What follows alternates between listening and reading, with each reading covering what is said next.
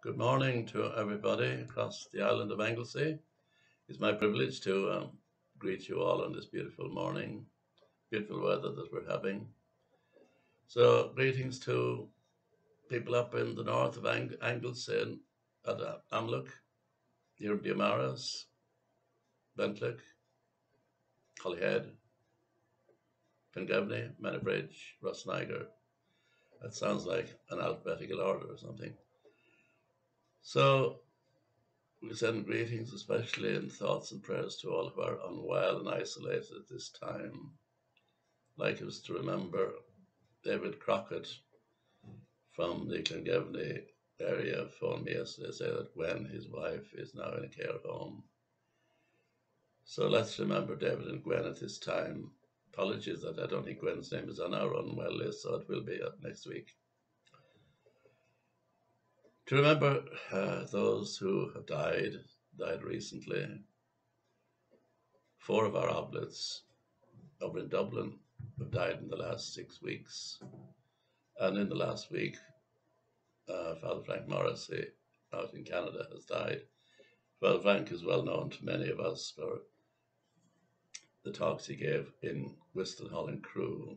He was an expert in canon law, but always interpreted canon law uh, pastorally, with care and with humanity.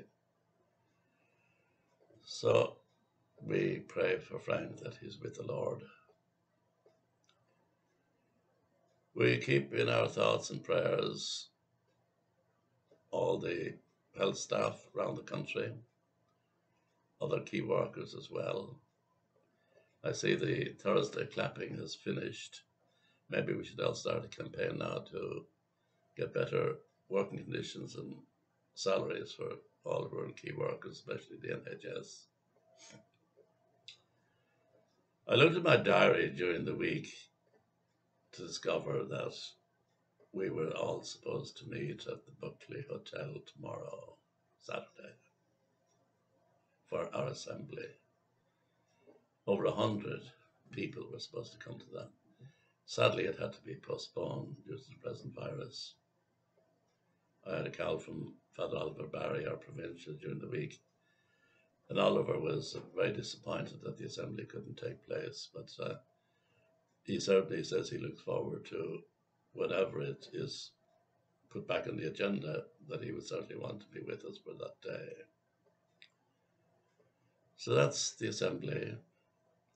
I've been to quite a few of these Zoom meetings in recent times. Zoom is this new fad and technology that uh, numerous people can chat together on computer screen. I don't think there's any limit on the numbers almost.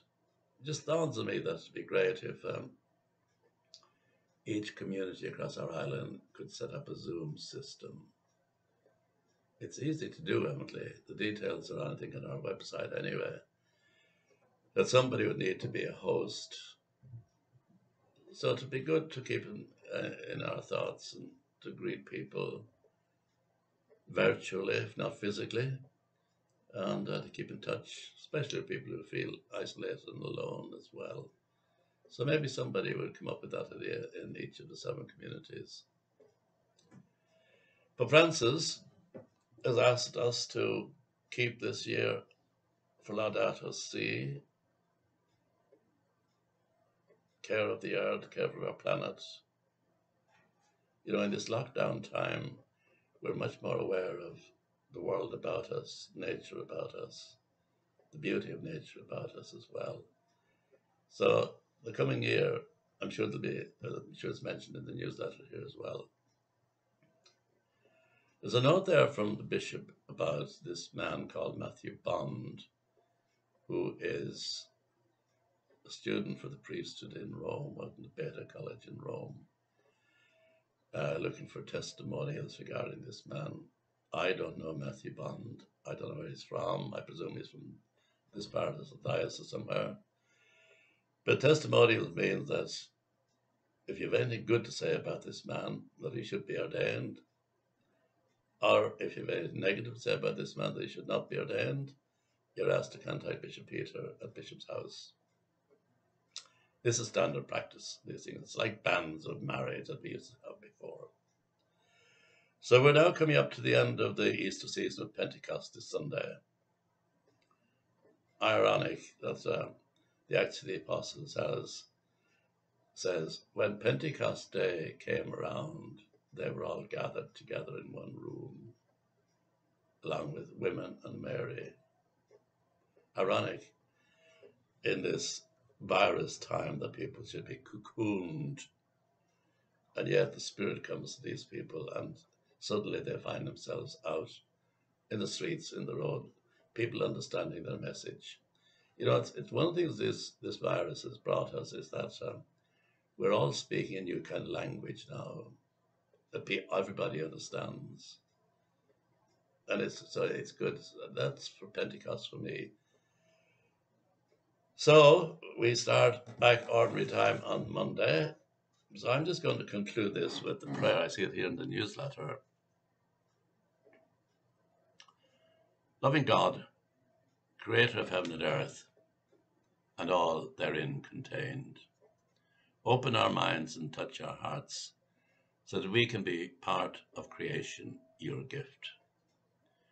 Be present to those in need in these difficult times especially the poorest and most vulnerable. Help us to show creative solidarity as we confront the consequences of the global pandemic. Make us courageous in embracing the challenges required to seek the common good. Now, more than ever, may we all feel interconnected and interdependent. Enable us to succeed in listening and responding to the cry of the earth and the cry of the poor. May their current sufferings become the birth pangs of a more fraternal and sustainable world. We pray through Christ our Lord, under the loving gaze of Mary, help of Christians. Amen. Have a good week. Stay well, stay safe. Thank you. Bye.